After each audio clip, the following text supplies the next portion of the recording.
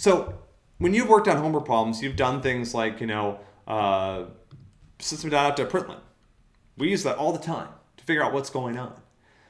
In Android, it's interesting because your app has a UI. So it's like, where would system.out.println go? So it turns out that system.out.println does actually work, um, but it doesn't work exactly the way you think it might. Uh, so let's look at that first, and then we'll look at the better way. Um, so let me go into some code that I know is getting run, and I'm going to put a system.out.println, uh, and I'll print something sort of distinctive. Um, so I'm going to stop this. I'm going to rerun my app. I see that it's uh, running. I'm going to open up the logcat tab so I can see the logs, and I see this message. And I can look for hey there.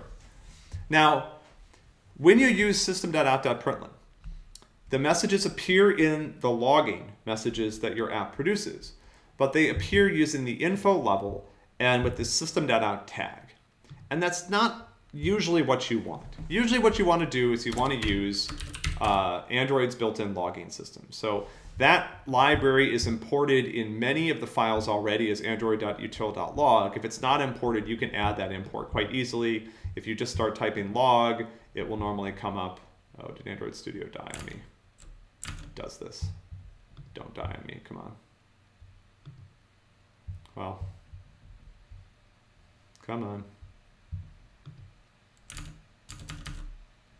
No, it's definitely.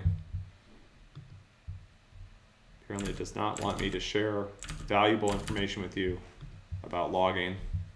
I don't know if it's going to come back or not. Should we force quit it? Oh yeah, come on, Android Studio. we can do better. Wish I could say that never happened. Can't say it never happens.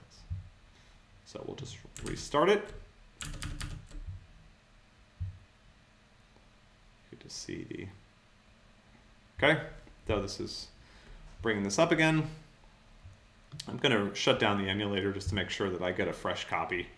Um, so where did it go? Here we go.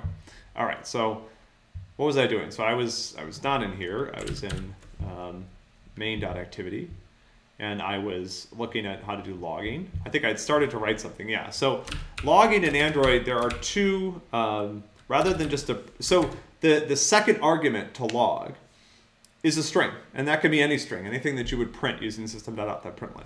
The first argument is a tag. And you may wonder, like, a tag is also a string. Tags are used to organize the log output. Uh, and, the, and, and this is really useful when you're debugging because frequently you've got log messages in from other things you were doing, and sometimes you want to only look at like one particular part of the uh, uh, of your app. And so you can use something like, um, and then here, right? The third thing that's different about logging is you get to choose a level. So log messages, there's actually a, this is my favorite, right? So this is the highest log message available on Android. It's called WTF um, stands for what you think. Uh, this is a message designed to uh, display complete and utter shock that something has happened in a particular way. This is like, this should never happen. If you use this tag, let's try it and find out. Um, this is the highest possible log level. This basically means like, not only did something go wrong, but this is something that I never expected to happen in 10 million years that happened, right? And so if we look here and we do like an error log and come on, um, you'll see uh, testing tag here. And I think it just uses the error uh, tag for this, right? Um, there are other levels. So a warning log, right? That's log.w. Um, this is a less high level. Uh, warnings are usually in places where like something happened in the app that you weren't expecting.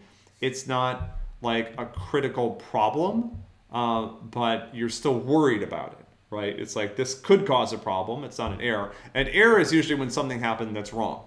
Uh, that, that that you didn't expect or is it a problem and then you can all you go all the way down to uh, does it have a no it doesn't have a trace tag so v is the lowest log level that's that's for verbose uh, verbose logs are what they sound like they produce a lot of output um, they can be helpful sometimes but they can also just produce a lot of noise and you'll see here that in Android Studio, I can control the log level that is uh, displayed.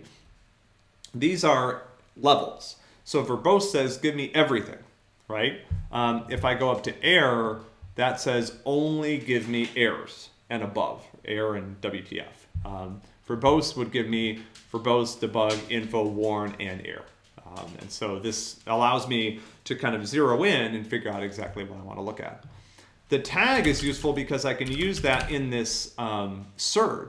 And so one thing I could do if I just wanted to see all the logs, sorry, from this testing tag, is I would put verbose and then I would type testing tag in the search. And now, assuming the testing tag doesn't appear over here somewhere in the message, that would zero in on just those tags. So this is a great way of zeroing in on a particular thing that your app is doing. So this is super helpful. This is essentially the equivalent of uh, printf or system.out.println for your Android applications.